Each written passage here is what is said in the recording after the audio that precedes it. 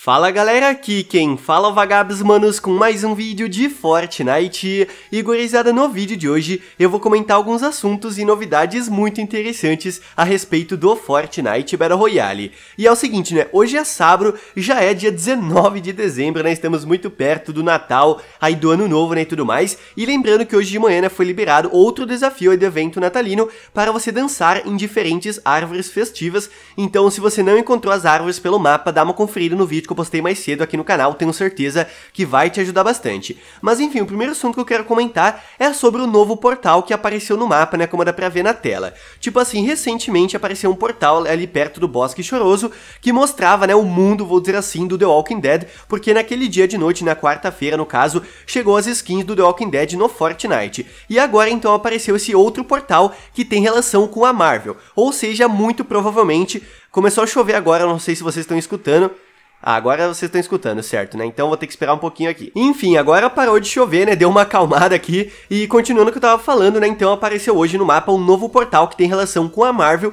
indicando possivelmente que muito em breve vão ser lançadas novas skins da Marvel no jogo. E as únicas skins da Marvel, né, que foram vazadas, que podem ser lançadas então, né, muito em breve, é esse pacote, né, que eu já tinha vazado aqui no canal, que tem três skins da Marvel: o Pantera Negra, a Capitã Marvel e também o Treinador. Então, se esse portal apareceu hoje no mapa, eu acredito que esse pacote vai ser lançado muito em breve mesmo, né? Quem sabe hoje à noite ainda. O preço do pacote a gente não sabe até o momento, tá ligado? Mesmo assim, fique ligado na loja de hoje, quem sabe esse pacote, né, pode ser lançado. E aproveitando aqui o assunto de skins e tudo mais, vale lembrar que hoje é sábado, então estou mostrando na tela todos os itens que já foram vazados, mas até o momento não foram lançados no jogo, né? Quem sabe hoje à noite alguns deles vão aparecer na loja. E se você quiser comprar qualquer item me apoiando, com certeza eu ia ficar muito feliz mesmo se você quisesse colocar o meu nick BKS Vagabs na opção de apoio ao criador da loja para dar aquela força marota aqui pro canal, né? Só que claro, você pode apoiar né, quem você quiser. E um assunto interessante que eu quero falar para vocês é que hoje muitas contas foram beneficiadas com 500 V-Bucks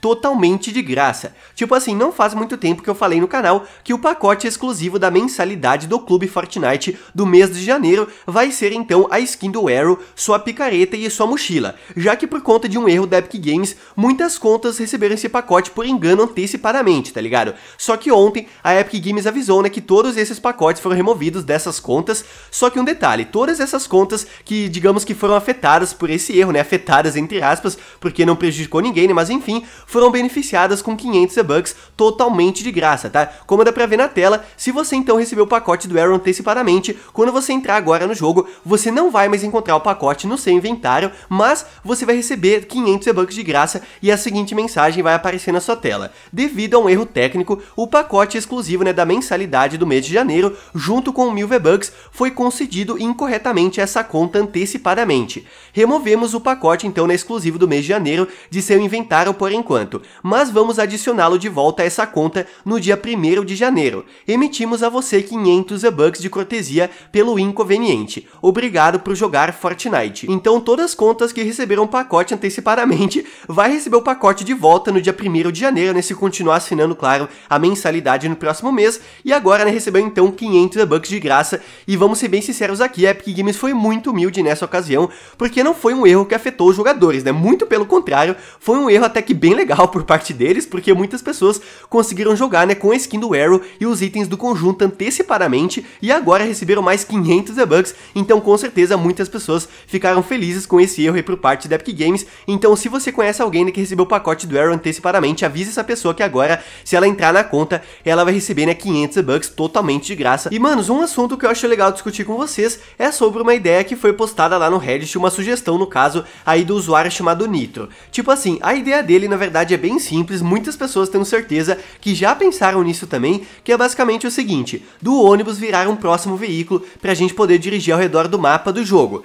Porque, manos, parando pra pensar, a Epic Games já lançou todo tipo de veículo aí na história do Fortnite. Aviões, helicópteros, os carros, caminhonetes, caminhões, só que até hoje acho que os dois únicos veículos que não foram lançados que existem são as motos e também os ônibus. Então essa ideia é justamente né, colocar ônibus aí né, serem, digamos que dirigíveis ao redor do mapa. Afinal, a gente pode encontrar sim vários ônibus ao redor do mapa, só que eles são somente, né, digamos que detalhes visuais, a gente não pode dirigir eles no momento. A gente meio que teve essa experiência de dirigir dirigir ônibus durante o evento do Galactus, né? Dirigindo o ônibus de batalha. Só que, claro, né? Foi uma gameplay bem diferente durante o evento e tudo mais. Se o ônibus de fato, né? Fosse liberado no jogo pra gente poder dirigir, ia ser uma gameplay bem diferente aí de como foi durante o evento. Só que eu dei uma olhada nos comentários desse post, dessa sugestão, e muitas pessoas realmente gostam dessa ideia de que no futuro a Epic Games coloque o ônibus pra gente poder dirigir também. Porque muitas pessoas estão falando que será muito divertido uh, muitas pessoas entrarem dentro do ônibus, tá ligado? Uh, tipo, carregar, digamos que 20 pessoas dentro do ônibus, claro, né, que numa partida modo esquadrão, modo duplas, isso não é possível, já que o pessoal ia ficar se matando, mas, por exemplo, né, numa partida do modo equipe tumulto, o pessoal fazer uma zoeira e todo mundo, né, ficar dentro do ônibus e tudo mais, ou até mesmo numa partida personalizada, a galera, né, ficar se divertindo dentro do ônibus, já que, claro, né, cabem muitas mais pessoas do que os veículos que tem disponíveis atualmente no jogo. Bom, de qualquer forma, eu achei uma ideia bem interessante, não sei se isso seria possível, mas eu acho que sim, né, dependendo da Epic Games, se eles já colocaram todo tipo de veículo no jogo, acho que não teria problema nenhum eles colocarem no futuro ônibus também, né, no mapa pra gente poder dirigir, mesmo assim, deixe embaixo nos comentários a sua opinião a respeito dessa ideia também. E gurizada, agora eu quero falar de um vazamento, tá, sobre os desafios da quarta semana dessa temporada, que vão ser lançados na próxima quinta-feira, no dia 24. Eles já foram encontrados nos arquivos e olhem só quais vão ser os desafios da próxima semana. Eu estou falando aqui somente, é claro, dos desafios épicos. Olhem só, um desafio para você eliminar a 5 metros ou menos, né? Ou eliminar um oponente bem pertinho dele, né? Um desafio bem de boas. Eliminar ao estar com menos de 50 de vida, uma eliminação. E uma eliminação também ao estar com vida e escudo cheios.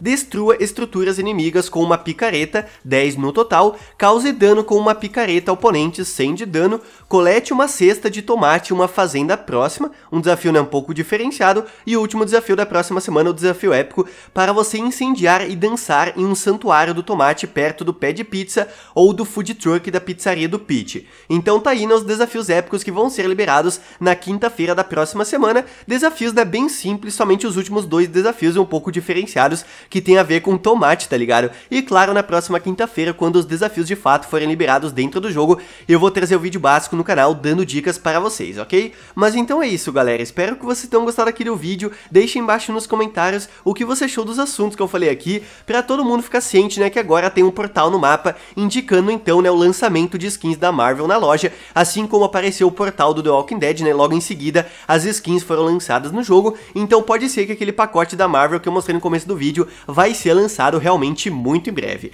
E se você gostou do vídeo, manos, deixa o like porque não custa nada e me ajuda muito, e claro, né, também mande pros seus amigos para todo mundo ficar ligado em mais assuntos, novidades interessantes do jogo e aquele seu amigo, né, que adora resolver desafios, para ele ficar ligado nos desafios da semana 4 antecipadamente. Então é isso, manos, aquele abraço, se vemos no próximo vídeo, valeu, falou, se eu fui!